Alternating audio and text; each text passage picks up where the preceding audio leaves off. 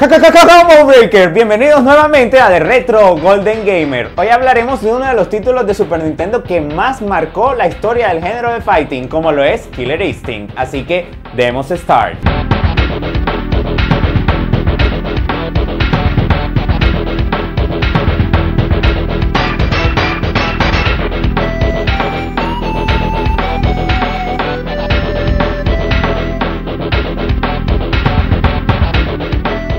Killer Instinct es un videojuego de peleas de la franquicia del mismo nombre, siendo el primero y considerado el principal. El juego se tenía pensado en un principio para la Nintendo 64, y rompiendo una tradición de sacar solo juegos para consolas, la compañía sorprende al sacar en 1994 el juego para el arcade.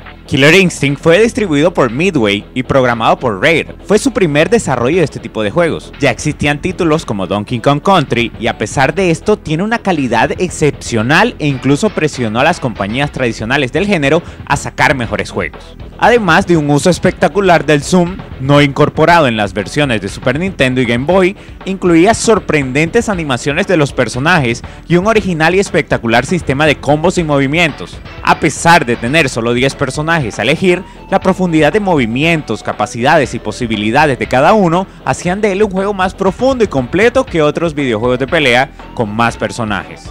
La historia de Killer Instinct gira en torno a un futuro no muy lejano, donde la contaminación es abundante y ha causado graves daños al medio ambiente.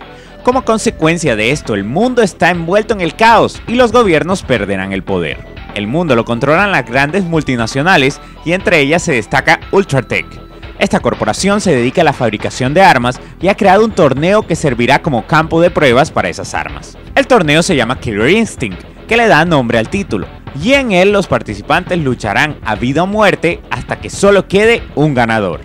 El superviviente luchará contra el enemigo final, Eido, un señor de guerra atrapado en otra dimensión y que Ultratech ha liberado para que sea el último oponente de este torneo. La multinacional ficticia de este título, Ultratech, concederá al ganador del torneo lo que él quiera. Los personajes de Killer Instinct son Jago, Orchid, Cinder, Spinal, Fulgor, Saberwolf, Riptor, Glacius, Thunder, Combo y el jefe final, Ado.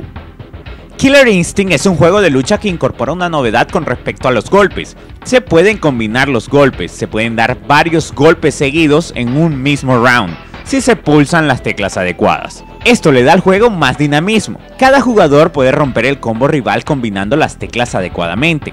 A esto se le llama cada combo recibía un nombre que dependía del número de golpes efectuados consecutivamente. Teníamos un triple combo, que serían tres golpes, un super combo con cuatro golpes, un hyper combo con cinco golpes, un brutal combo con seis golpes, un master combo con siete golpes, un awesome combo con ocho golpes, un blaster combo con nueve golpes, un master combo con 10 y un killer combo de 12 o más golpes.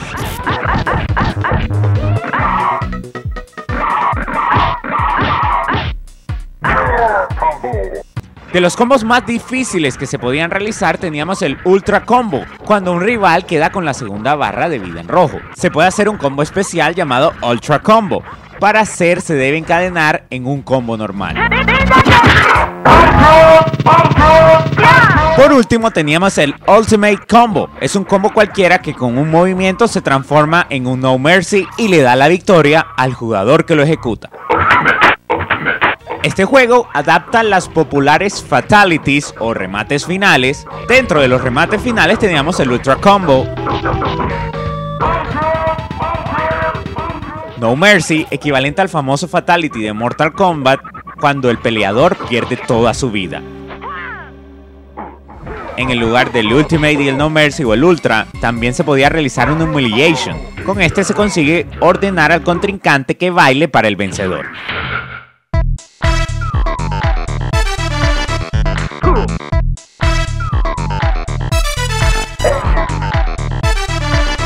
Otro de los puntos destacables de Killer Instinct fue su banda sonora, producida por Rare. La música del juego fue adaptada para la versión de Super Nintendo, perdiendo la calidad que la destacaba en arcade por cuestiones de memoria.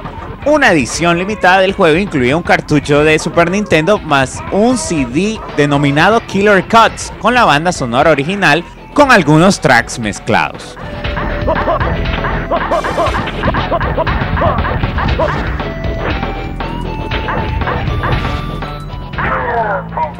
Muchas gracias por seguir aquí. Recuerda que todos los contenidos están pensados para la comunidad gamer. Recuerda comentar, compartir, darle me gusta y suscribirte a este canal para seguir construyendo el universo gamer.